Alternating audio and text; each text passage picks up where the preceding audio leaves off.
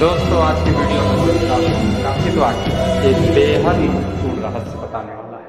आज हम सभी जानने वाले परमेश्वर की छाप कब लगी? सन 2015 में पहली मोहर खुली। सन 2018 में दूसरी मोहर खुली। सन 2022 में तीसरी मोहर खुलने वाली है। यह बात हम समझ चुके हैं। दोस्तों, आज पवित्र आत्मा बताने वाला है मोहरें तो समय अनुसार खुलती ही रहेंगी पर लगातार प्रभु का कार्य भी चालू है। दानियल भविष्यवक्ता की भविष्यवाणियों के अनुसार सन 2019 में जैसे ही अंतिम दिन प्रारंभ हुए, अंधकार को फैलाने वाला वायरस कोरोना आ गया। सन 2020 में प्राकृतिक आपदाओं की झलक दिखाई देने लगी। सन 2021 में प्रभु की चेतावनी स्पष्ट सुनाई देने लगी। आने वाले प्रत्येक दिन महत्वपूर्ण है। प्रतिदिन प्रभु की योजनाएँ पूरी होने वाली हैं। सो हमें इस प्रकाशन की पुस्तक से शिक्षा लेकर अपने आने वाला प्रत्येक दिन पूरी विश्वास योग्यता के साथ व्यतीत करना है। अंतिम दिनों के चित्र दिखाने वाले ऐसे वीडियोस लगातार देखते रहने के लिए आप हमारे चैनल को सब्सक्राइब करके बेल आइकन अवश्य प्रेस करें ताकि प्रत्येक वीडियो का नोटिफिकेशन आप सबों तक पहुँचता रहे। वीडियो शेयर एवं लाइक ज़रूर करें ताकि यह अद्भुत ज्ञान फैल सके। प्रभु यीशु मसीह के नाम में आप सबों को जय मसीह की। यह कोई प्रमाण नहीं, सिर्फ़ और सिर्फ़ बाइबल की भविष्यवाणियों की गणनाओं पर आधारित अध्ययन है। प्रकाशित वाक्य की पुस्तक सात अध्याय एक पद। इसके बाद मैंने पृथ्वी के चारों कोनों पर चार स्वर्गदूत खड़े देखे। ये पृथ्वी की चारों हवाओं को थामे हुए थे ताकि पृथ्वी या समुद्र या किसी पेड़ पर हवा न चले। छह मुहरों का दृश्य देखने के बाद यहुन्ना जी को चार स्वर्गदूत नज़र आते हैं जो वचनानुसार पृथ्वी के चारों कोनों पर खड़े हैं। पृथ्वी की चार हवाओं को थामे हैं हवा कभी दिखाई नहीं देती। पर फिर भी यहोन्ना जी इस वचन में हवाओं की संख्या का वर्णन कर रहे हैं। कैसे? हमें समझना है। चार अर्थात पृथ्वी। पृथ्वी का कोना नहीं होता। पृथ्वी चपटी नहीं, गोल है। इन बातों को आज का मनुष्य जानता है। पर उन दिनों में विज्ञान का इतना विस्तार नहीं हुआ था। सो उन दिनों की भाषा शैली में योहन्ना जी समस्त पृथ्वी की चर्चा कर रहे हैं। आज की भाषा शैली में हम इस वचन को इस प्रकार भी पढ़ सकते हैं। योहन्ना जी ने परमेश्वर के चार विशेष स्वर्गदूतों को देखा, जो पृथ्वी की चारों दिशाओं में खड़े हैं। इन्हें परमेश्वर ने आदेश दिया है कि पृथ्वी, समुद्र और विश्वासियों पर आई हुई विभिन्न यातनाओं को कुछ समय के लिए रोक दें। संपूर्ण पृथ्वी पर प्रभु परमेश्वर का नियंत्रण है। वह अपनी योजना अनुसार कभी भी कुछ भी कर सकता है। जैसा मैंने पढ़ा, इस पद को हम इसी प्रकार क्यों पढ़े, यह जानकारी आज का अध्ययन बताने वाला है। आज पवित्र आत्मा बताएगा, परमेश्वर की छाप कब लगेगी? तो आइए प्रार्थना के साथ इस रहस्यमय अध्ययन को समझने का प्रयास करें। आइए प्रार्थना करें। धन्यवाद सरस्वतीमान पिता परमेश्वर। प्रभु यीशु मसीह के नाम से खुदाबंद आपके पास आते हैं। प्रार्थना करते हैं प्रभु कि जब आज हम इस रहस्यमय बात को समझना चाहते हैं, जानना चाहते हैं प्रभु कि आपकी छाप कब लगेगी तो प्रभु हमें बोलने की हर एक व्यक्तियों को समझने की सामर्थ्य दे, ताकि यह अध्ययन इन अंत के दिनों में हम सबों के लिए अत्यंत उपयोगी साबित हो सके। तेरा धन्यवाद कि तू हमारी प्रार्थनाओं को निरंतर सुनता है। यीशु मसीह के नाम से दुआ को मांगते हैं। आमीन।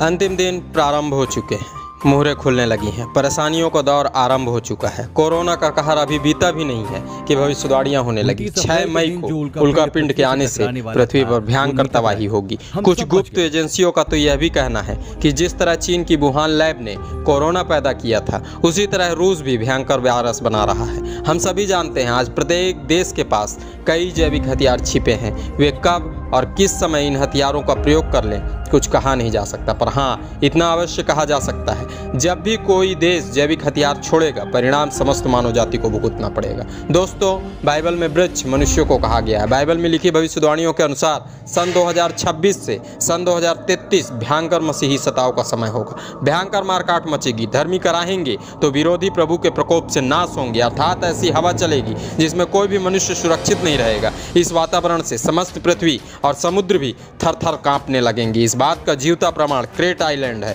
जो अभी से कांपने लगा है।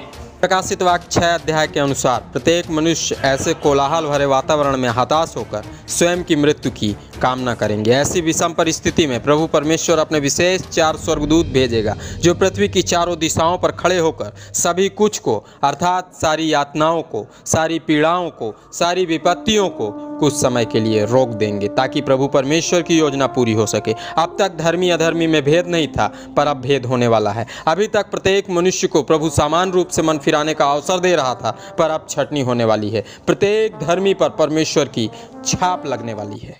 प्रकाशित वाक सात अध्याय दो पद। फिर मैंने एक और स्वर्गदूत को जीवते परमेश्वर की मुहर लिए हुए पूरब से ऊपर की ओर आते देखा। उसने उन चारों स्वर्गदूतों से, जिन्हें पृथ्वी और समुद्र की हानि करने का अधिकार दिया गया था, ऊँचे शब्द से पुकार कर कहा। सभी प्रकार की पीड़ाएँ थमने के बाद योहन्ना जी को एक और स्वर्गदूत नज़र आता है, जो कि जीवते परमेश्वर की मुहर लिए हुए पूरब से ऊपर की ओर आ रहा है। दोस्तों, यह पद पूर्णतः स्पष्ट कर रहा है परमेश्वर की छाप कब लगेगी?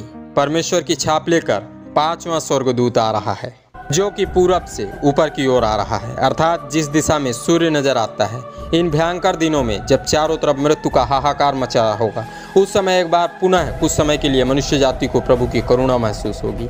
यह विशेष स्वर्गदूत प्रत्येक धर्मियों के लिए आशा की किरण लेकर आएगा। घोर डरावने और अंधकारमय वातावरण में फंसे मनुष्य को जब बचाव की उम्मीद महसूस होती है, तब उसका हृदय हर्ष से भर जाता है। उसी प्रकार का हर्ष उन दिनों के प्रत्येक धर्मी मनुष्यों के हृदयों में पाया जाएगा। दोस्तों, परमेश्वर की छाप देने वाले स्वर्गदूत ने उन चारों प्रलयकारी स्वर्गदूतों से ऊँचे शब्द से पुकार कर कहा। क्या कहा? इस अध्याय में हम ध्यान से सुने, ताकि हम भी परमेश्वर की मुहर की भागीदार बन सकें। अंतिम दिन प्रारंभ हो चुके हैं। पीड़ाओं का दौर आरंभ हो गया है। इस पद में लिखे वचन के अनुसार इन चारों विशेष स्वर्गदूतों का निर्माण भी पीड़ाएँ उंडेलने के लिए किया गया है। पर इस सब के बावजूद भी प्रभु अपनी करुणा बरसा रहा है। इस अध्याय के आरंभ में योहन्ना जी को वे स्वर्गदूत नज़र आए, जो और भी भयंकर दंड पृथ्वी पर उंडेलने वाले हैं। सातवीं मुहर खुलते ही इनका कार्य आरंभ हो जाएगा। इनके कार्यों को हम आगे के अध्ययनों में जानेंगे, पर आज पवित्र आत्मा हमें बता रहा है, ऐसे वातावरण में भी प्रभु की निगाहें कर्म अपने लोगों पर बनी है। उसे अपने लोगों का ख्याल है।